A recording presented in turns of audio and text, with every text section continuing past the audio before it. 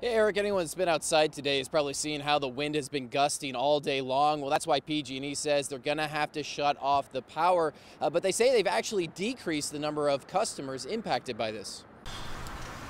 As winds increase in Northern California, Pacific Gas and Electric, or PG&E, says public safety power shutoffs will be happening over the next three days. According to our current plans, if conditions call for it, we would begin power shutoffs Wednesday evening. This map on PG&E's website shows the area's customers may lose power in orange, which the company says are mostly high fire threat areas. So generally, these are foothill communities in the northern and central Sierra Nevada mountains, as well as some portions of the Bay Area, particularly higher elevations. But the number of customers impacted, 54,000, is actually a lot smaller than in previous years. PG&E says that's because they've been hard at work.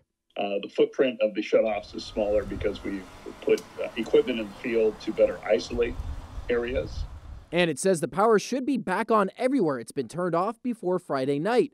Again, the company says that shorter time frame is because it's been concentrating its manpower on repairs.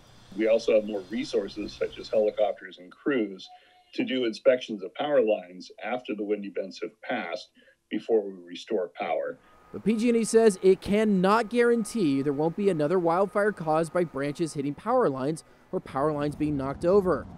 So the company warns over the next three days, those who live in high fire threat areas should be ready to go at a moment's notice. With a red flag warning, we do urge people to be ready. Have a go bag at your, um, you know, by your door. Now happening right now, PG&E is holding a press conference on these uh, power shutoffs.